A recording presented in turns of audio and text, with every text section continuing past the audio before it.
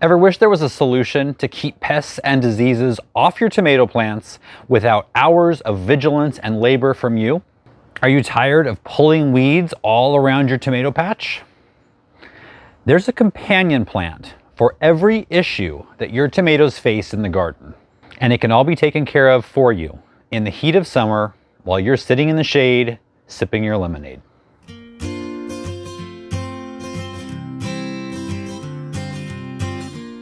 Hey, I'm Brian with Next Level Gardening, and if you're looking to join an online garden community that offers tips, tricks, and support to help you take your gardening to the next level, you're in the right place. Start now by clicking subscribe and click the bell so you never miss anything. Now let's get growing. In today's video, I'm gonna show you 14 companion plants that will keep your tomatoes pest and disease free and take care of some of the weeds they've got I'm also going to show you two plants that you never want near your tomatoes. Companion planting is a study that fascinates me. However, you will not be seeing a lot of the companion strategies uh, on this video that you normally see on sites like Pinterest. Mainly because a lot of it is complete nonsense. So if you're here for information like planting basil next to my tomatoes will make my tomatoes taste better, you might want to go somewhere else.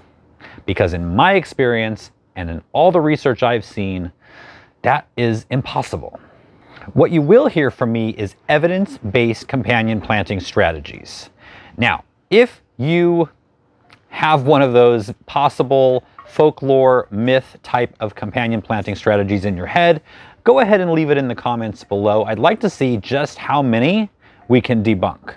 Let's start off with the most famous pest for tomatoes, and that would be the tomato hornworm. Hornworms can strip the leaves off of your plants within a couple of days. There are two companion plants that can help you deal with these chubby little devils. Seriously, they even have a horn. One of the best companion plants in the garden for tomatoes is also one of the best companions for tomatoes in the kitchen, and that is basil. But not for the reason we mentioned earlier. The very reason I love it is the reason it works so well, and that is the scent.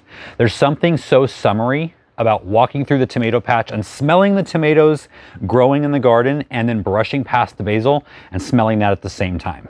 I love it. But hornworms hate it. It's a common misconception in companion planting circles and literature that the smell of certain plants like basil will repel certain pests. Recent research actually shows that rather than repelling them, it confuses them by masking the odor of the plant they're looking for. So the spotted hawk moth, which is the full-grown uh, version of the tomato hornworm, is actually attracted to the tomato plant by smell. And if you've got something like basil in the air, it confuses them and they're going to look elsewhere. Another beneficial insect that takes down tomato hornworms are parasitic wasps. These are stealthy little insects. They actually lay their eggs under the skin of the tomato hornworm. They hatch out and the little baby wasp larvae literally eat them up inside. Kind of like that last comment from your boss on the last Zoom meeting.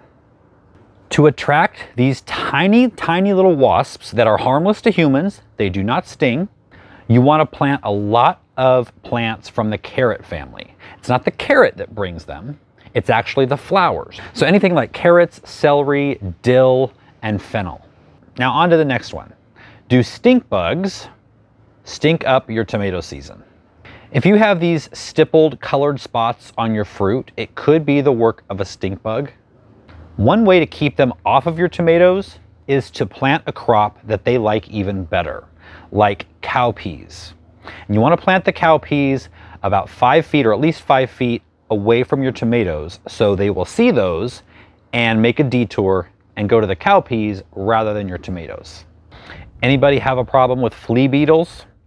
If your tomato leaves look like the old-fashioned punch ballots, sorry to get political, lots of punch card type holes with no hanging chads, it's probably the work of a flea beetle, or many of them. Similar to stink bugs, you want a crop planted nearby that will lure them away from your tomatoes. And a crop that they love even better than tomatoes are radish leaves. But unlike the stink bug, flea beetles don't travel very far. They pretty much stick to a very small uh, radius. So you want to plant your radishes not five feet away, but you want to plant the radishes in and among your tomato plants.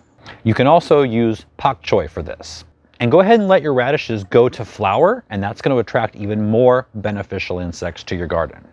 So we all know what aphids look like, right? Now how about thrips? You're most likely not going to see the bug, the thrip, um, and if so, it's not going to be big enough to make out an actual shape. They're very tiny, but you're going to be able to notice the damage. If your leaves look like this, that is thrip damage. Parsley is a plant that attracts hoverflies. Now hoverflies do two things. Adult hoverflies are great pollinators. Hoverfly larvae, on the other hand, feed on aphids and thrips. So go ahead and plant parsley everywhere. One of the pests that's really hard to get rid of once they've taken a hold are red spider mites. These are really tiny, red, spider-shaped mites I really have a gift for describing things. Here's a picture of the damage they cause. If it gets really bad, you'll see webs on the undersides of leaves, but by that time it might be too late. However, you can head them off at the pass by planting alliums, so garlic, onions, chives. Much like the basil, the smell, the really strong smell of the alliums will confuse the spider mites. So they will go over to your neighbor's tomatoes rather than yours because that guy doesn't watch this channel. All right, let's move into diseases. Are diseases like black spot and blight ruining your tomato harvest before the season even gets going? Plant a cover crop of hairy vetch. That's a thing. A cover crop of hairy vetch. Why can't I say that without laughing? A cover crop of hairy vetch Grow up. In research trials, hairy vetch provided a 65% reduction in these foliar diseases and more than an 88% decrease in diseased fruit compared to bare ground or plastic sheeting mulch. The results were actually comparable to fungicide. That's big. So grow yourself some hairy vetch. Plant it in the fall and cut it down to the ground in spring as soon as seed pods begin to swell. Leave it there as a mulch and plant your tomatoes right through it. Since it's a legume, it will also add more nitrogen to the soil than it takes. Now, is there a companion plant that will deter weeds? Yeah, hairy vetch. This is a twofer. Not only does it protect against disease, but it actually protects against weeds, that same mulch that you leave on the ground and plant your tomatoes through. You can also plant a living mulch of crimson clover. Now, I've already got some coming up, and it's going to compete with the weeds, and it will win. The only thing is, as soon as it goes to flower, you want to keep an eye on it because you do not want it to go to seed or it's going to become unmanageable really quickly. So when you see those flowers start to bloom, you can leave them for just a bit, but before they start to go too far, you want to chop them down at ground level and you can either leave them as a green mulch or you can put them in your compost.